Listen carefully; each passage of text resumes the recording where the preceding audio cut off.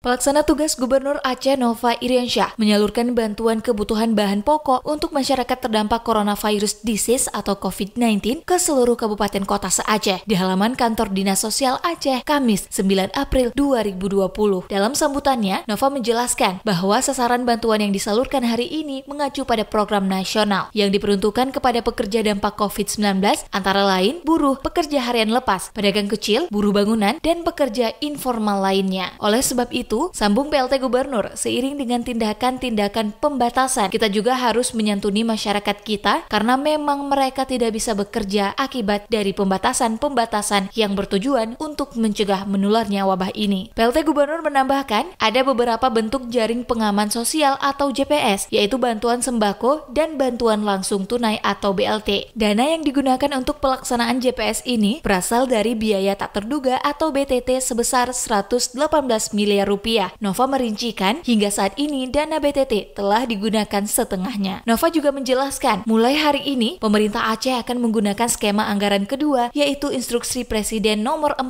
tahun 2020 tentang refocusing kegiatan, realokasi anggaran serta pengadaan barang dan jasa dalam rangka percepatan penanganan coronavirus disease 2019 atau COVID-19. Berdasarkan data sementara, bantuan pemerintah Aceh yang disalurkan melalui Dinas Sosial ini akan diserahkan diserahkan kepada 61.584 kepala keluarga di seluruh Aceh. Yang pertama skema sosial safety net itu sebulan sekali. Jumlah rupiahnya tadi saya bilang Pak Sekda sedang mengeksersis. Kira-kira jumlah rupiahnya ya, kira-kira 500 ribu satu bulan satu kakak.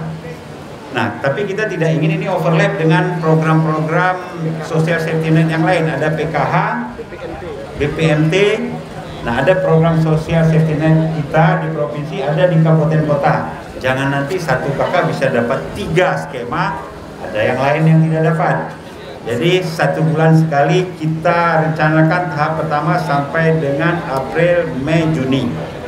Kalau COVID belum selesai, kita lanjutkan Juli, Agustus, September. Saya berharap September selambat-lambatnya COVID ini sudah berlalu. Paket bantuan ini telah diverifikasi, divalidasi, dan disahkan menjadi keputusan bupati atau wali kota. Dalam kesempatan tersebut, Nova kembali menegaskan komitmennya melindungi seluruh tenaga kesehatan yang saat ini berjuang dalam penanganan COVID-19 di Aceh. Selama ini, sambung Nova, seluruh upaya pencegahan telah dijalankan. Semua saran dan masukan diakomodasi karena dalam kondisi wabah seperti ini tidak cukup dengan menjalankan visi dan misi pemerintah saja, tetapi membutuhkan dukungan dari semua pihak.